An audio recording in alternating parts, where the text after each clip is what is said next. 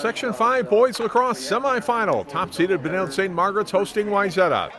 The Red Knights waste little time scoring. Robby Hoyt secures the ground ball, races in, and fires a shot in for a goal just 12 seconds into the game. Brad Little passes to Carson Brandt, who rips a shot into the top half of the net, and the Red Knights are up 2 0. Wayzata gets on the board here. It's Bennett Brown fighting off contact, then he turns and scores. It's a 2 to 1 score, but that's about it for Trojans highlights on this night. Dylan Parker comes out from behind the Wayzata net and fires a quick shot in for a goal before getting leveled. Red Knights lead at 3 to 1. Brandt passes to Adam Backman, and the junior midfielder drives a shot home as Benilde takes a 5 to 1 lead after one quarter.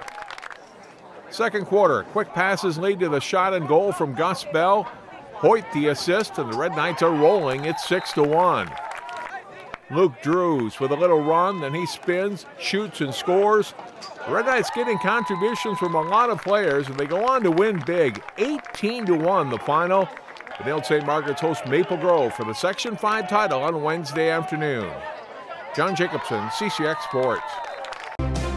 Find more prep sports games and highlights at ccxmedia.org and follow us on social media.